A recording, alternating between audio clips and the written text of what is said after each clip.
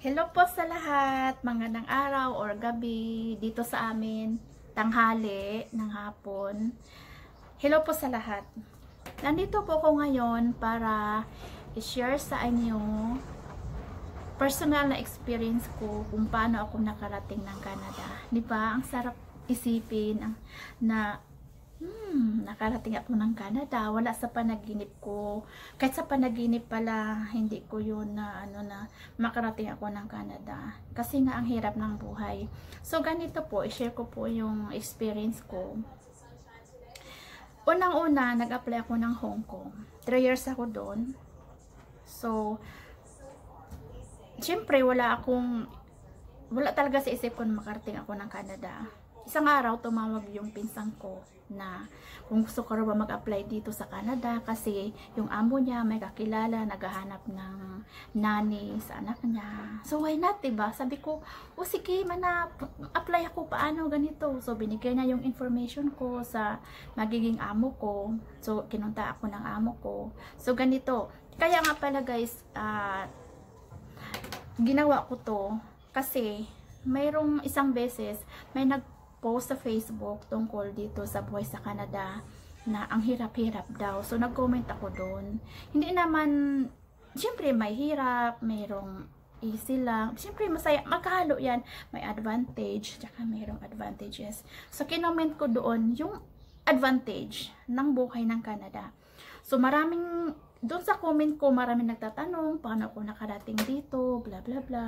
So, tiningnan ko yun kanina lang sinulat ko yung mga tanong nila, ganito, anong agency ka po, ilang months required, mag-aral ba ng caregiver, paano po mag-apply, I want to apply po sana as a nanny or caregiver.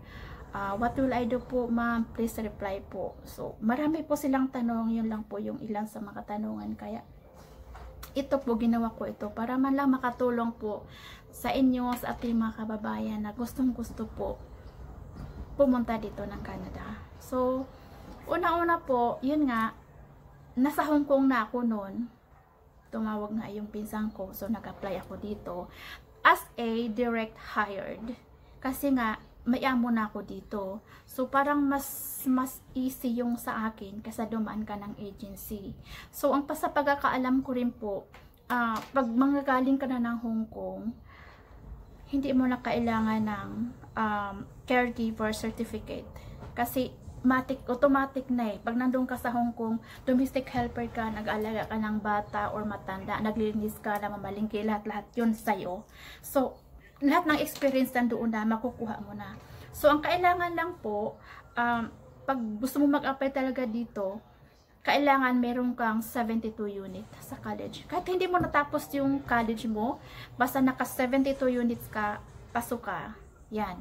Tapos, sa ibang pang mga kailangan na paper, siyempre alam nyo na po yung passport, yung uh, high school diploma, yung college um, uh, transcript mo, kung may asawa ka, marriage certificate, tapos, uh, kung mayroon kang yearbook sa college, mas maganda po yon Kung mayroon kayong picture na nakatuga sa college, mas maganda po yon Kailangan din po yon Tapos, um, uh, authenticated po dapat. Sa NSO yung birth certificate mo or yung marriage certificate mo. So, ngayon yata, meron yata nadagdag na mga requirements. Hindi ko na po alam kasi uh, way back 2012 po ako noon nung kasagsagang nag-apply ako dito. Sorry po. At saka po, mas maganda po talaga na pag mag-apply ka uh, papuntang Canada, magagaling po kayo ng ibang bansa. Halimbawa, sa Hong Kong, open country po. Mas mas mas mabilis po doon. Uh, kagaya po sa akin, less than a year po. Nag-umpisa kami ng March, nakalipad po ako ng December. Pero may visa na po ako ng October yata. Kaya lang na-delay yung flight ko kasi yung amo ko, dito sa Canada kasi, one year yung mat leave. So, hindi pa siya natapos nun. So, um, December niya ako pinapunta dito para mayroon pang ilang weeks na i-train niya ako. So, kaya December ako. Pero, mabilis lang talaga. Less than a year nakalipad ako ng Canada pag sa ibang bansa ka kasi pag sa Pinas hindi naman sa you know mina uh, pagmamaliit uh, dinig talaga, ang tagal-tagal talaga ng processing pag manggaling ka ng Pilipinas. Pero pag manggaling ka ng Hong Kong or Taiwan or Singapore, kadalasan talaga ng mga friends ko dito, nanggaling sila ng Taiwan, tsaka Hong Kong. Wala na akong ibang narinig pa. Mas mabilis talaga. Tinanong ko rin sila kung ilang, ano sila, parang gaya lang din sa akin na mayroong more than a year. Hindi talaga nakarating ng 2 years or more. Sa akin, less than a year, 9 months um, basta sa year 8 months, something like that. So, ganun po. Yun po, um, yun nga lang, kasi nga, uh, direct hire ko, medyo kunti lang yung nagastos ko. Nagbayad lang ako ng ganito, kung paano ko ginawa yung application ko. Kasi nga, isa sa Hong Kong, napakahigpit ng uh, amo ko doon. Hindi ka basa-basa makalabas. So, nag-hire po ako ng agent. Siya po lahat gumagawa, nag, nagpa-process ng mga, mga papers ko. Uh, marami po yan sa Hong Kong. Kung nasa Hong Kong kayo, marami po yung agent yung papunta dito sa Canada. Magbayad lang po kayo kung kung gusto nyo po talaga. Tapos kung hindi naman kayo, wala naman kayong amo na nahanap dito, wala kayong mag-anak na magbigay ng amo nyo papunta dito, pwede po kayong pumunta ng agency. Yung nga lang po, uh, medyo mas malaki na talaga ngayon ang placement. Pero kung gusto nyo po talaga, pag nasa Hong Kong na kayo, isang taon kayo doon, pwede na kayo mag-apply ng Canada. Hindi po kasi pag, pagkarating mo kagad-agad doon, mag-apply ka kagad dito. Hindi po pwede yun. Dapat makarating ka po ng uh, ah, 9 months or or 1 year. Yung, yung pinaka ano siguro. Yun po yung alam ko. So, kung gusto mo talaga, mag-ipon ka. Hmm, pag gusto mo talaga, pag-ipunan mo yung placement, maraming agency doon. Pero po, ingat lang po kayo kasi pag kagaya sa pinsang ko, isang beses siya nag-apply papunta dito. Na ano po siya, uh, hindi po tunay yung fake po yung agency na napunta niya, nasayang po yung pera niya. So, ingat-ingat din po tayo kasi ang hirap po talaga kumita ng pera, pang placement lang tapos mawala lang, 'di ba? Magtanong-tanong kayo kung sino yung mayroong agency na alam na na legal, doon po kayo mag-apply. Tapos po, 'yun, dahan-dahan. Kung gusto po talaga nating makapunta dito, kayang-kaya po. Kasi yung sa akin, mahirap lang din naman po ako. Kaya lang, as in, God's will talaga na hindi ako gumastos ng malaki, direct hire po ako.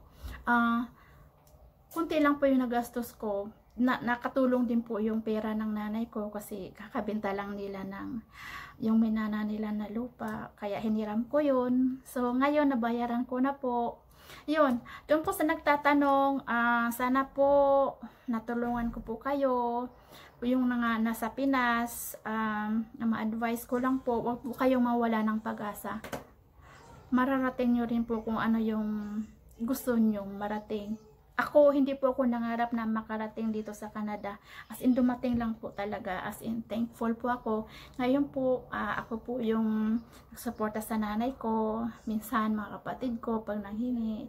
Tsaka, hindi naman po talaga madali dito ang buhay dito sa Canada. Masaya, mayroon ding hirap. At least, ngayon po, uh, after 4 years ko po dito, nakuha ko na po yung family ko. So ngayon magkakasama na po kami. Ano nga pala, pagdating mo dito as, as a caregiver po kasi yung applyan natin.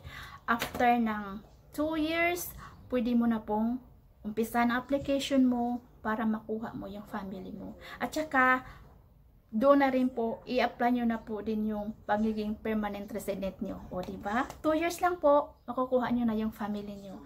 Magtyaga lang po tayo, tsaka focus lang po sa uh, dream natin.